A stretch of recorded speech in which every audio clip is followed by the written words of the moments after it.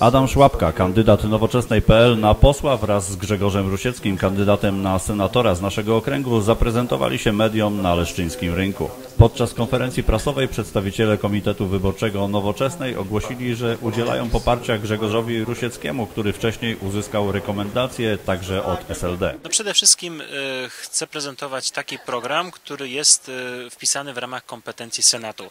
Senat zajmuje się przede wszystkim y, tworzeniem prawa, a w zasadzie poprawianiem tego prawa, który wychodzi z Sejmu. W związku z tym jakby kompetencja główna senatora powinna polegać na tym, aby tworzyć dobre prawo albo likwidować te prawo, które w tej chwili już funkcjonuje, a nie jest y, najlepsze.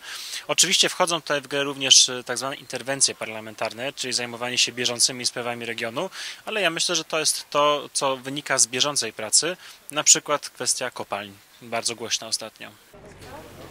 Adam Szłapka, jestem sekretarzem generalnym nowoczesnym Ryszarda Petru, jestem kościaniakiem, jestem liderem listy kalisko-leszczyńskiej. Nowoczesna to, to nowa e, inicjatywa polityczna, którą tworzą ludzie, którzy chcą zmian e, i są zdeterminowani do tego, żeby te zmiany wprowadzać. Przede wszystkim chcą uprościć system i podatkowy, i system prawny po to, żeby ludziom łatwiej było e, prowadzić przedsiębiorstwa, prowadzić działalność gospodarczą. Uważamy, że Polska jest fajna, ludźmi, którzy ją tworzą, ale jest wiele rzeczy do poprawy. Przede wszystkim to państwo da się zorganizować lepiej za te same pieniądze, powinno być lepiej zarządzane.